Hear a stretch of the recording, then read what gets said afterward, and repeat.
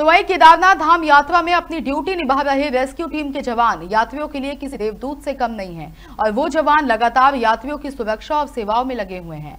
आपदा प्रबंधन अधिकारी से मिली जानकारी के अनुसार तड़के सुबह जी मैक्स द्वारा सूचना मिली कि गौरीकुंड मेन गेट के समीप एक महिला यात्री का पाव फिसलने के कारण नीचे गिर गई है, जिससे महिला के सर पर चोट आने से वो बेहोश हालत में थी। वहीं सूचना मिलते ही डीडीआरएफ की रेस्क्यू टीम तुरंत मौके पर पहुँची और बेहोश पड़ी महिला यात्री सपना बेहरा, जो कि उड़ीसा से यात्रा पर आई है।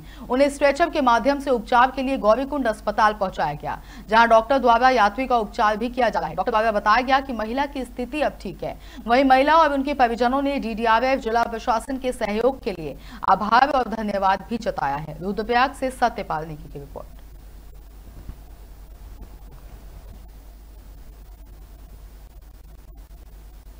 मेरा भाभी का आ, कुछ ही देर पहले मतलब तबीयत खराब होके ज़ोर से हेडक होके वो नीचे उतर रहे थे केदारनाथ से और वो स्लिप होकर उनका सर फट गया और तुरंत आके हमको रेस्क्यू किया। धन्यवाद डी टीम धन्यवाद।